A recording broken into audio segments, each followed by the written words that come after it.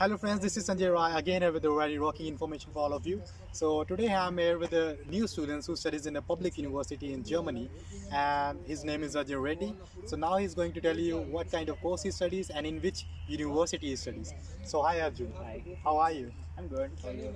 I'm also good. So tell the viewers like which is your university and what kind of course you are doing there and also uh, like a very short introduction of yours. Okay, hi. Mm, I'm Arjun Reddy. I'm from Hyderabad, India. So I, I'm here in Germany I'm pursuing my um, master's in scientific instrumentation. It's like NSW Hochschule Jena. Okay. Uh, it's a public funded university. So you only need to pay like 230 euros per every semester, Mhm. uh, which includes your state ticket and all the amenities from the university like libraries, library, And all the contributions. yeah, all the contributions from the university, like which is mostly into mechanical and electrical engineering. So my field of study is completely into mechanical engineering. So there are subjects something like advanced 3D designing, finite element methods, and the course is related to electrical engineering too, where you can cover sensors. You can also cover optics, and so this course is like integrated with four semesters. In, in first two semesters, you need to cover all the subjects. So this is a course in English, huh? Yeah, this course is in completely Okay. English. It's not that it's in German. So mostly here students in Ger- uh, who come to Germany choose English courses, but not the Ge- German courses. But it is very hard uh, to study in German courses here. So if you choose to come to Germany, try to learn German. Okay, try to learn German. That, that's a yeah. very important thing Yeah. to tell.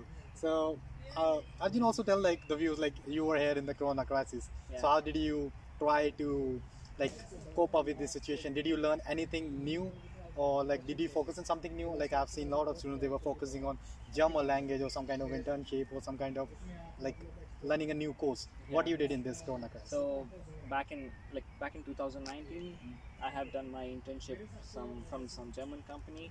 Uh, so it, it got finished in February. Like soon after February, it's Corona crisis everywhere here in Germany. So I, it's very hard for me to find a thesis, uh, like conti- uh, continuation of my thesis, uh, sorry internship. Even for the student who wants to do their part time, it's hard for them to Okay, so you so as you listen, like he's also finding difficulty in, in getting the thesis, as like most of the companies don't want to hire the students now in this Corona crisis was, uh, to for any problem because most of the things just was shut down. So uh, we hope like he will find the thesis very soon. Okay, so yeah. Thank you. so this is all for this video.